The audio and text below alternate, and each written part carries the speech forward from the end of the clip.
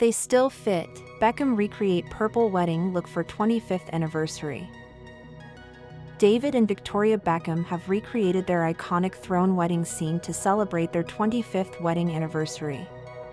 The couple shared photos on Instagram, dressed in the matching purple ensembles they wore as their second outfit on the big day back in 1999. They wrote, Look what we found, with David adding in a second post, Yep, still got it. Can't believe it's been 25 years and they still fit.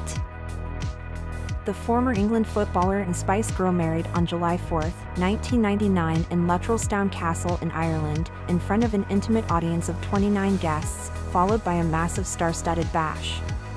One of the recreated photos showed them sitting in the crushed velvet purple thrones that featured on their wedding day and which quickly became part of 90s pop culture history.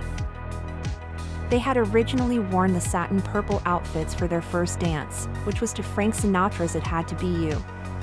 Baby Brooklyn, who was just four months old at the time, also had a matching purple suit. Speaking about their purple outfits, which were designed by Antonio Berardi, in their Netflix documentary which was out last year, David seemed keen to distance himself from the decision to wear them.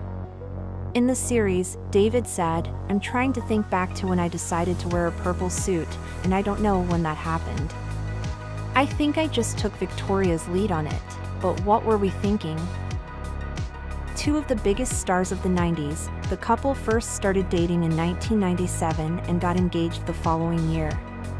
The sprawling mansion they moved into on the border of Hertfordshire and Essex was dubbed Beckingham Palace thanks to their royal celebrity status.